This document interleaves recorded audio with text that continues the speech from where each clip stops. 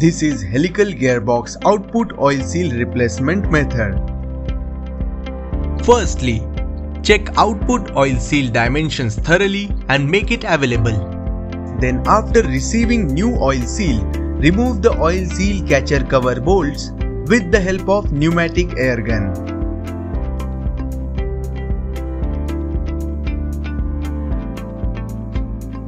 Then remove the output catcher without damaging it.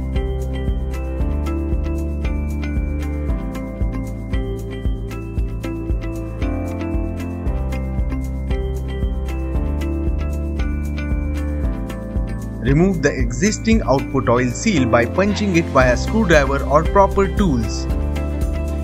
Make sure that no damage is caused during any operation.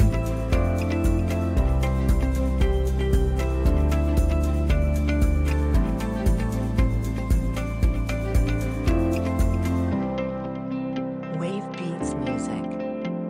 Apply 50 to 60% grease on oil seal lips. Place the new output oil seal on the catcher properly. After that, press the oil seal by using proper tool at hydraulic press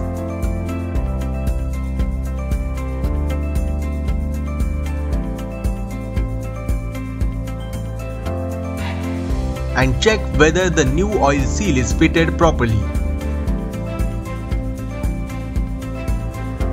Now clean the output oil catcher by using cotton.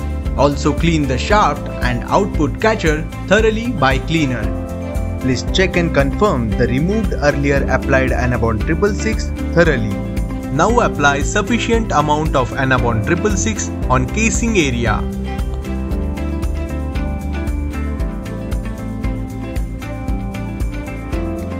Now fit oil catcher properly and tighten the bolts by using pneumatic air gun.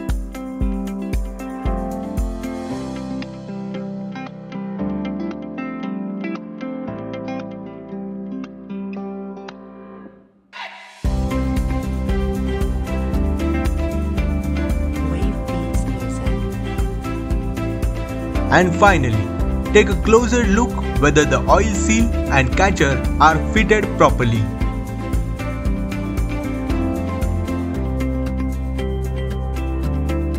For more information, download the Premium Transmission app from Google Play Store.